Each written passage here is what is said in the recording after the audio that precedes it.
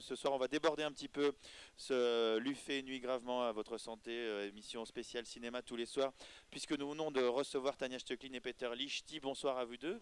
Vous sortez d'une projection euh, de, de ton film, euh, Tania. Oui. Comment ça s'est passé? Oui, ça s'est bien passé. C'était intéressant pour moi parce que le film a 20 ans et ça fait longtemps que je ne l'ai pas vu moi-même. Alors j'ai été moi-même très curieuse de, de le voir euh, une, une nouvelle fois. Oui, Et Ça t'a rappelé des choses euh, de l'époque quand... oui bien sûr, c'était- c'est vraiment dans l'esprit des années 80. C'est une autre époque qu'aujourd'hui, un peu plus rebelle, euh, un peu plus... euh, oui, on luttait un peu différemment et euh, ça m'a fait un peu nostalgique aussi. Alors on pourrait parler d'une sorte de, en tout cas du début, d'une sorte de version de Heidi un peu trash, extrait en allemand.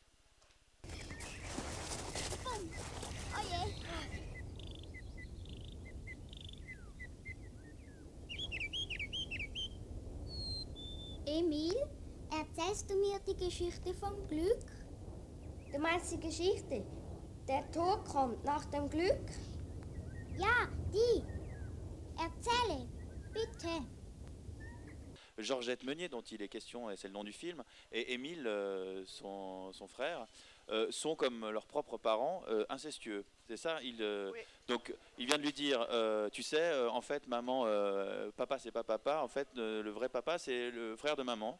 Et eux, après, ont une histoire d'amour aussi, et euh, Oui. sont séparés. Enfin, c'est juste le lancement. Euh, D'où est venue cette, euh, cette idée? Parce que ça commence très fort quand même. Je ne peux pas exactement dire où- d'où vient l'idée. euh, je peux dire que, que je voulais faire une métaphore pour quelque chose qui n'est pas normal, qui, qui est un peu extraordinaire, c'est-à-dire, euh, oui, qui est critiqué par, par la société. Et euh, eux, ils doivent lutter pour, pour euh, vivre leur vie, le- leurs désirs, leurs souhaits. Et ils sont euh, empêchés et euh, ça les pervertit d'une façon ou d'une autre. Comment ça fait pour toi, euh, après 20 ans justement, de revoir ce film? Qu'est-ce que tu... Est-ce qu'il t'a plu? Est-ce qu'il te plaît encore? Oui, j'étais un peu. Ça m'a plu, j'étais un peu étonnée aussi. J'étais aussi. Je viens de parler aussi avec, avec Peter.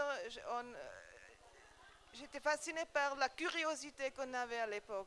On, avait la curiosité euh, envers les, contenus, mais aussi envers le médium film. On voulait vraiment essayer. Et c'était beaucoup plus difficile qu'aujourd'hui parce qu'aujourd'hui, avec le digital, on peut presser sur un bouton et hop, hop, hop, on a les effets.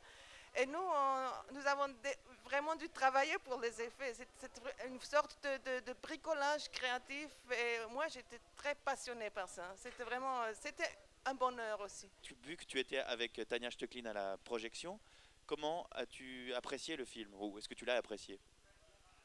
Ik had de film Voilà, j'avais plus vu le film depuis 20 ans et on avait un peu l'occasion euh, dans ces quelques minutes euh, où on est venu euh, voilà, de, de mon nom ici dans la tente, d'en discuter un tout petit peu. Et moi, ce qui m'a, ce qui m'a vraiment surpris, euh, ce qui m'a vraiment touché en quelque sorte, c'était le fait avec quelle innovativité, avec quelle fraîcheur on, on approchait ce sujet à l'époque, que ce soit filmique euh, ou que ce soit aussi euh, au, au niveau de la piste sonore. Et surtout la piste sonore, voilà, elle m'a vachement étonné, euh, comment elle influence aussi l'image, cette fraîcheur, cette volonté d'expérimenter euh, euh, qu'on y va.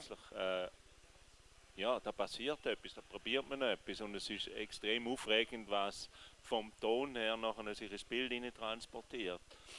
Ähm, äh, Maintenant, pour ce qui est un peu de la trame narrative, je dois dire bisschen 20 ans après, oui, ça fait peut-être, euh, c'est un peu étrange, ça euh, c'est plus tellement proche sie en quelque sorte. Mais vu que Tania c'est une de mes meilleures amies, es une très très bonne amie, euh, quelque part non, parce que je l'y, retrouve en quelque sorte. Tanja. Es ist etwas sehr Persönliches und da nicht gerade ausdrücken in diesem Interview. Peter Lichty, alors vous venez de parler, enfin tu viens de parler de, de trame musicale, euh, on va parler de ton film qui lui passe aussi euh, ce soir, mais qui n'est pas encore passé, il passe à 22h30 à la salle Paderewski, s'appelle Kick That Habit, et c'est inspiré, enfin c'est sur euh, le travail du duo saint-gallois Voice Crack. Est-ce qu'on peut parler quand même du projet, comment ça s'est passé? Bah, Par exemple, pourquoi Voice Crack? Pourquoi ce, duo-là? Voilà, en fait, euh, en fait moi j'ai assisté à un concert hein, de, ce, de Voice Crack et j'étais fasciné par leur force créatrice. Et puis surtout aussi comment ils marient euh, l'image avec le son et également le fait qu'ils qu'ils fassent quelque chose au niveau musical que qui, qui est normalement plutôt attribué au registre du bruit.